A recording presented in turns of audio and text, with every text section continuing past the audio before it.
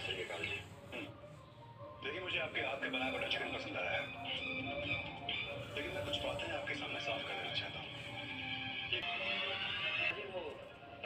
हूँ काम कब से शुरू करना है